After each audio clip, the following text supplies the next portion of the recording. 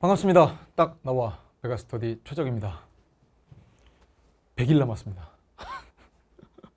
와 시간 정말 빠르다. 어, 이거는 뭐 선생님이 굳이 얘기를 하지 않아도 여러분이 최근에 드는 그 생각과 더불어서 야 이게 그냥 수능이라고 하는 것 자체가 원래는 장기 레이스라고 해서 분명 내가 뭐 3학년 때 뭐 혹은 뭐 3학년 올라와서 혹은 뭐 다시 도전하는 친구들도 처음에 이제 계획을 세울 당시에 그때 추웠잖아요.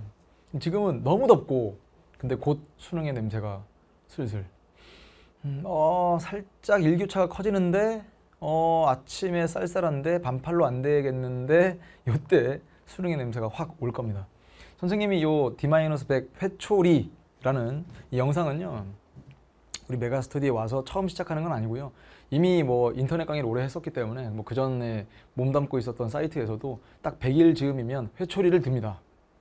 회초리 진짜 가져올 거다가 회초리 이 회초리라는 것은 물리적 회초리 정말 이렇게 때리는 회초리 어, 한번 좀 지켜보세요. 아까 이야기했던 수능의 냄새 음, 말씀드렸고 이건 뭐냐 마이너스 30 마이너스 7 마이너스 1 이제 D 마이너스 100이잖아요. 그냥 한 달 지날 때마다 30 훅훅 빠질 거고요. 이제 일주일마다 자 보세요.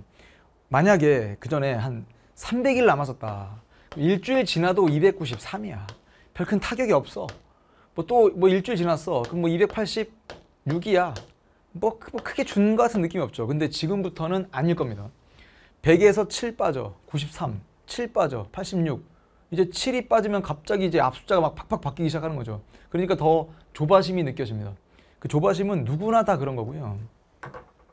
너만 느끼는 건 아니다. 아, 선생님도 그래요. 선생님도 일주일 지나면 어떤 하나의 안도감이 있어요. 아 일주일 정말 열심히 살았구나. 이것도 있지만 이제 수능이 얼마 안 남았으니까 여러분들한테 교재와 강의로 더 다져드릴 수 있는 시간이 줄기 때문에 더욱 더 수업에 1분 1초가 더 어, 뭐랄까 되게 진심을 담아서 강의해야 되겠구나 라는 생각을 하죠. 이 회초리는 뭐 보니까 뭐 사랑의 회초리 뭐 이런 것도 있지만 이렇게 잘 안 보일 수도 있겠는데 이게 진짜 어, 회초리 진짜 때리는 야이 자식아 회초리 때리는 이 모습인데 선생님은 아까도 얘기했던 것처럼 이걸 물리적인 회초리라고 보진 않고요. 회초리는 원래 그냥 순 우리말이에요. 어, 사랑의 회초리 할 때 쓰는 순 우리말인데 어느 누군가가 이렇게 해석을 하더라고요. 한자로 쓰면 회초리. 누구나 첫 마음이 있어요. 첫 각오가 있잖아요. 선생님도 뭐 처음에 메가스터디에 와서 어, 우리 많은 친구들, 많은 학생들을 대상으로 강의할 때 그 설렘, 당연히 있었죠. 그러면서 그때 막 뭐 자 이제 우리 열심히 한번 해보자 막 와 이러면서 했던 그 당시 근데 시간이 쭉 지나다 보니까 또 선생님도 이 바쁜 스케줄에 많이 지치기도 했고 뭐 그 사이에 또 건강이 안 좋아서 어, 고생한 적도 있고 자 그럼에도 불구하고 우리 제자들의 수많은 뭐 응원도 받았고 뭐 얼마나 이 감사한 자리입니까 이 자리가 음. 그러면서 첫 이게 이게 처음이라는 뜻이니까 어. 처음의 뜻 으로 돌아가자 돌아갈 회자를 써가지고 이렇게 해석하는 사람이 있더라고요. 회초리라는 말은 매 한 방 딱 맞으면서 회초리한테 딱 아, 내가 처음에 진짜 공부 열심히 하기로 했었는데 절대 내 목표를 낮추지 않고 끝까지 이뤄보겠다라는 생각을 했었는데 아, 내가 어느덧 좀 많이 더워서 어, 많이 지쳐 있는 건 아닌가? 혹은 점수가 중간중간에 뭐 시험을 치를 때마다 뜻한 바대로 안 나와서 좀 많이 지친 건 아닌가? 그럴 때마다 첫 마음을 기억해 주길 바라면서 회초리를 들었다라고 이야기를 했던 겁니다. 그러면서 막 나는 왜 공부하는가? 뭐 선생님이 분명 캐스트에다가 공부란 무엇인가? 공부에 대한 본질적 접근 올려드렸으니까 이 공부가 뭐냐? 어, 뭐 스승 만들기다. 그 다음에 내가 남을 가르칠 수 있을 만큼 뭔가 이해를 시킬 수 있을 만큼 준비하자. 이런 무거운 얘기들을 다 뺄 거예요. 이제는 원래는 막 준비를 해왔었는데 빼고 공부는 선택의 폭을 넓히기 위한 것이야. 이런 거 다 빼고 목표가 구체적이지 않으면 슬럼프를 이겨낼 수 없어. 우리 목표를 정말 구체적으로 세워야 돼. 다 빼고 뭐야 뭐 다 빼기만 해. 심리적 하한선을 절대 낮추지 말자. 다 빼고. 열심히보다는 잘하자는 각오. 이게 원래 선생님이 작년까지 했던 D-100 회초리의 내용이었어요. 아니 다 중요한 얘기죠 정말. 근데 이제는 생각을 조금은 바꿨습니다. 뭐 바꿨다기보다는 여기 있는 생각들을 버린 게 아니라 이 D-100 회초리에서는요 이런 생각을 하게 됐어요. 정말 100일 남았어요. 근데 100일이 하루하루 하루마다 진짜 너무 힘들어. 어, 난 오늘 하루 목표를 달성하지 못했어. 자괴감 들어. 어, 그럴 땐 잘 때도 그 영향을 받을 거란 말이에요.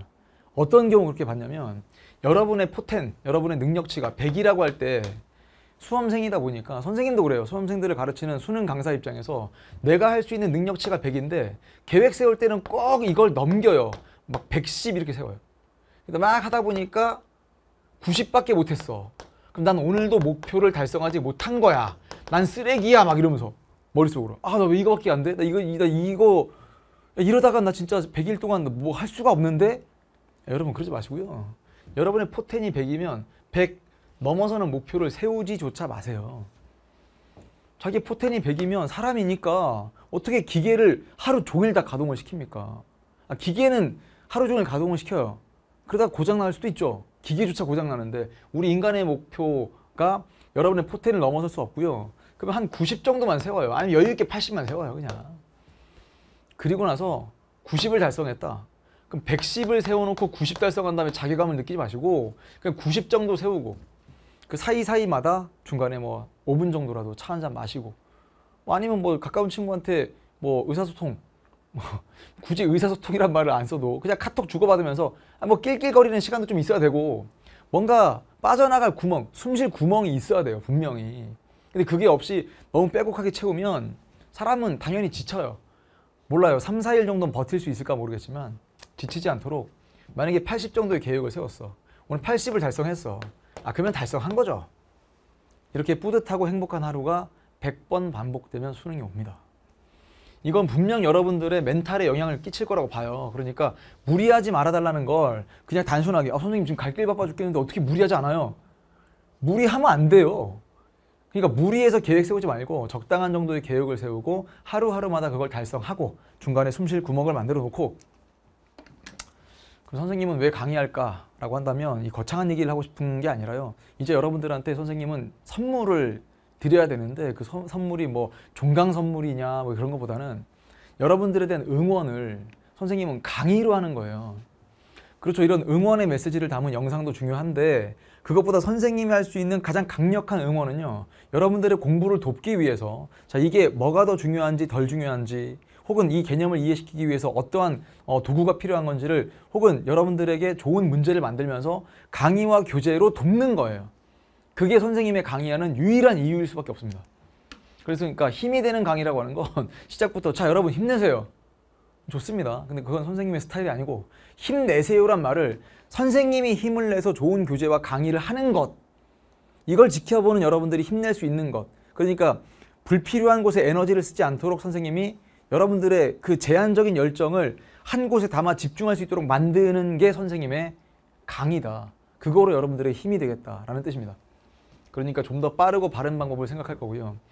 이 멘칠기삼이라는 건 무슨 말이냐면 이게 시험이다 보니까 여러분 생각처럼 어, 그 전에 준비했던 것의 개념과 혹은 문제풀이법보다는 멘탈이 진짜 중요하다는 거 나중에 한번 치러보면 알 겁니다. 근데 이것도 웃긴 게 난 멘탈을 정말 잘 다져야 돼. 멘탈이 중요해. 멘탈 관리 잘하자. 잘하자. 잘하자. 멘탈 관리 잘하자라고 해서 멘탈 관리가 잘 되는 거면 누가 못하겠습니까? 근데 그게 아니라 멘탈 관리를 잘하기 위해서는 우선적으로 몸이 받쳐줘야 돼요. 피지컬이. 아니, 몸이 아픈데 어떻게 멘탈 관리로 시험을 치릅니까? 그러니까 이제 우리는 방법을 찾는 사람들이었으면 좋겠어요. 아마 선생님 강의를 한 번이라도 들어본 친구들 알 겁니다. 나는 우리 제자들이 무언가를 엄청 잘하는 사람 일하기보다는 잘하고 싶다면 그 잘하는 것의 방법을 찾는 사람들이었으면 좋겠어요. 이런 거죠. 아이고 어떻게 잘하지? 어, 선생님은 강의를 어떻게 잘하냐면 어떻게 잘할 수 있도록 선생님을 스스로가 이렇게 어, 다독거리냐면 자 내가 잘할 수 있는 컨디션을 만들자. 그러면 건강이 좋아야 돼. 건강이 좋아지려면 어떻게 하지? 밥도 잘 챙겨 먹어야 돼. 근데 밥을 챙겨 먹을 때 너무 배가 부르면 오히려 강의가 잘 안 돼. 그러면 양을 줄여야죠. 또는 맵고 짠 걸 먹으면 아 강의가 잘 안 돼. 확실히 이게 입이 막 마르니까 음, 막 쩝쩝거리는 소리가 더 많이 들어가면 좀 불편할 것 같으니까 아예 그냥 강의 전에는 맵고 짠 걸 먹질 않습니다. 근데 너무 배고프면 안 되니까 적당히 먹어요.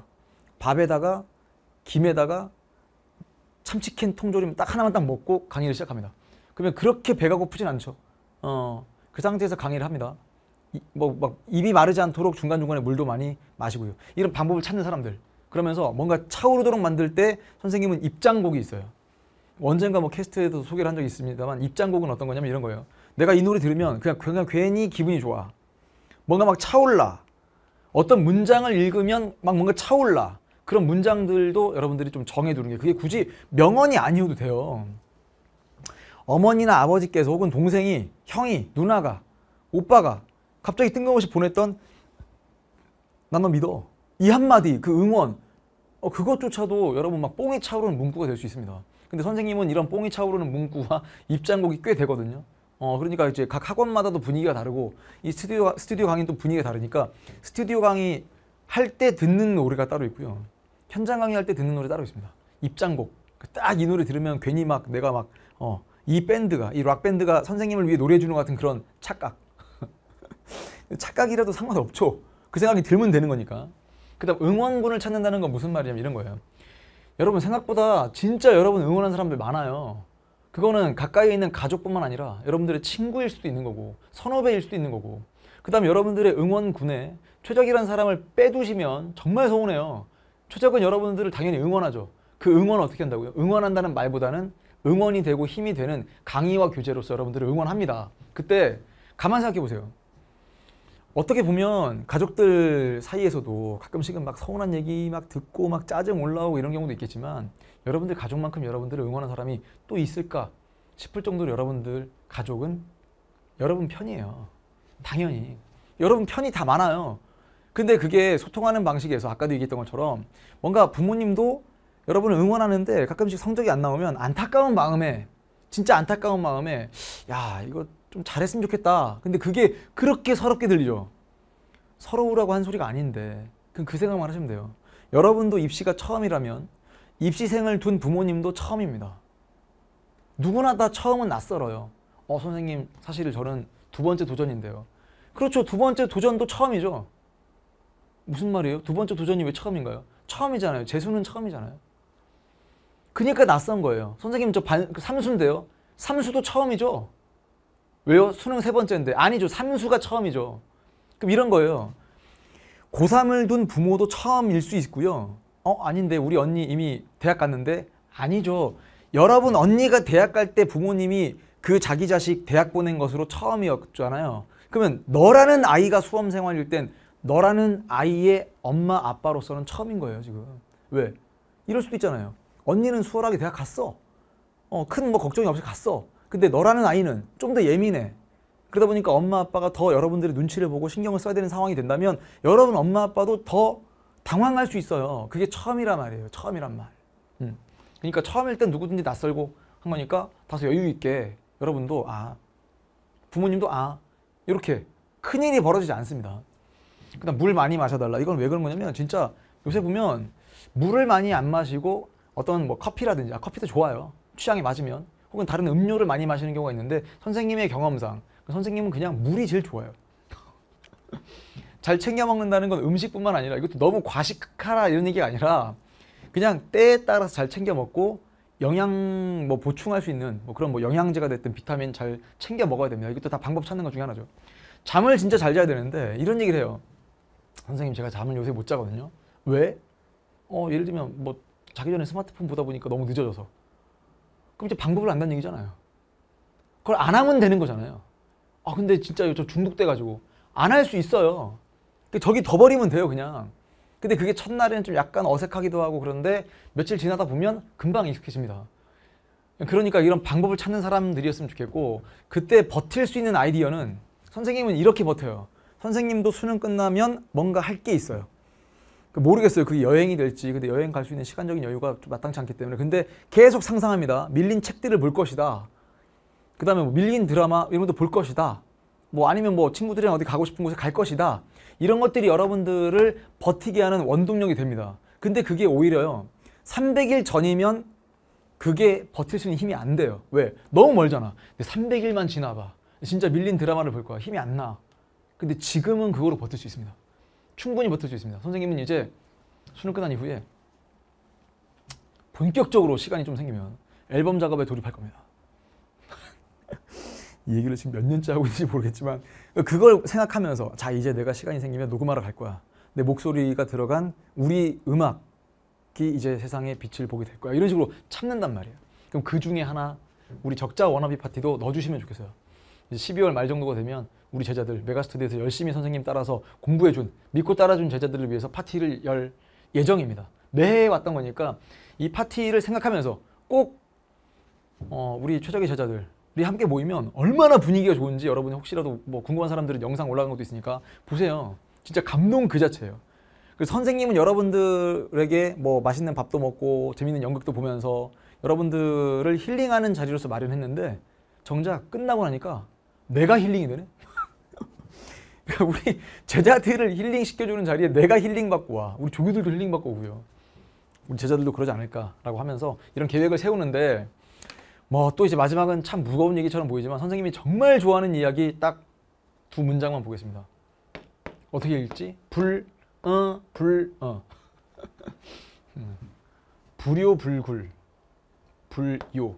흔들림 없이 굴하지 말고 무릎 꿇지 말고 스스로가 강해지기 위해서 자강, 불식, 쉼 없이 나아간다는 뜻입니다.